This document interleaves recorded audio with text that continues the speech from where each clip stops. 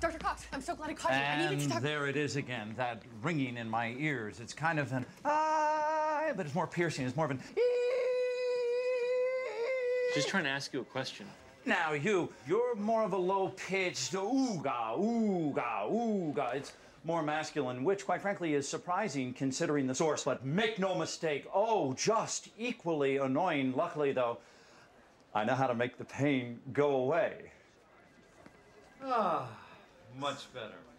Can you believe that? I mean, every time we even try to talk to him, he starts going off on all these random tangents and monologues. And he keeps coming with his nicknames. And I don't understand what he's saying half the time, you know? That's what I'm doing.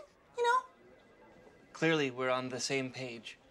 We're residents now. We should be treated more like colleagues, and I can't even get him to notice me. Oh, oh, oh, um, sorry, sorry, sorry.